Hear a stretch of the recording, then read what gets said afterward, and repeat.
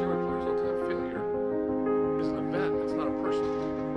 So there's winning and there's learning. It's only winning and losing when you don't learn something along the way. And that was also one of the one of the things I would try and share all the time. There's always opportunities to learn through losing. Through losing, your attention gets heightened. Winning can be a deodorant because if you win, you think, hey, everything's pretty good. You don't really fine tune it. You don't look at it maybe as hard or as sharp or as close. So those opportunities